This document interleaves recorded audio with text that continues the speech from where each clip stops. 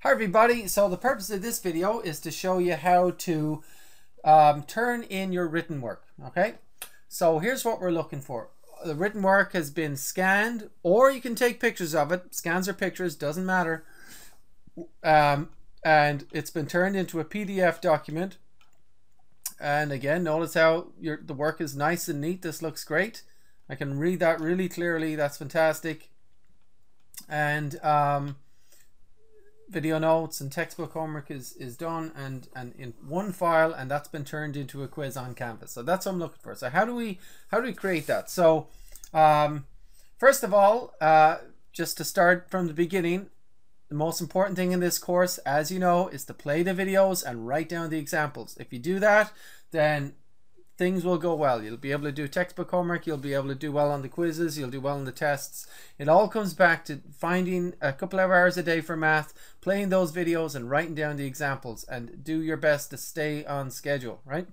So, so we're playing the videos, we're putting them in full screen, we're writing down the examples on paper, okay? And then we're doing the textbook homework on paper. And we do, do the next video, write down on paper, do textbook homework on paper, and so on. So we have all this paper, this video notes and textbook homework. Uh, now, before we go any further, notice that to check for accuracy, your odd numbered answers will be in the back of the book and the even numbers will be mostly checked on the quiz, okay? And if you if need help with anything, um, you go to math help, you go to homework sharing, you contact me um, for help, right? So that's that. So now we have all this paperwork and we're going to take pictures of it with a, a iPhone, a camera, an iPad. You're going to scan it. If you have a scanner, all sorts of ways of taking pictures. Let me know if this is not possible. Um, worst case scenario, you can just mail it to me. Um, so, so you've got these pictures. How do you put them into a PDF file? Okay, so on our page, how to turn in your written work, okay, um, um, the easiest thing of all might be combinepdf.com. So I'll just show you how to use that. But it's probably better like like if you can get specific a specific app or software or specific instructions for your specific device, that's probably better. But look, all devices are just going to work. If you just want to break down and do this website, it's combinepdf.com. See that? So if I go there, right, and it brings me to this page. I click upload files. I say, okay, here's my um, video notes and textbook homework for chapter one, right? I open.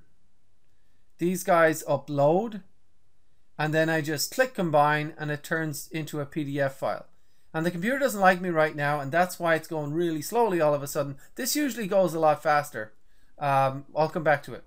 So when you so you have your nice PDF document that looks like this.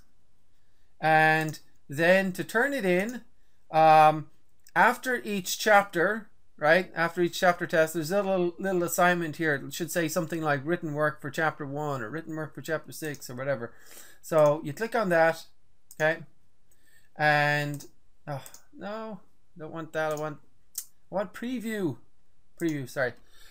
As a student, you'll click on take the quiz, and look at that. Choose a file. Choose your file. And um, let's say that's my home right there. And I upload it. And then I just click submit quiz and it's done right?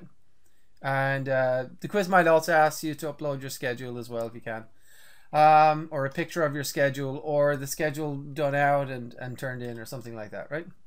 Um, but but that's the most important thing. The video notes and textbook homework in one PDF file so I'll just go over that again. So um, um, combinepdf.com, we go here, we click upload files, they load up. Um, and then we click combine. It turns into a PDF file. Um, if you're on a Windows computer, you go to downloads and that will be the file right there on your downloads folder. Okay.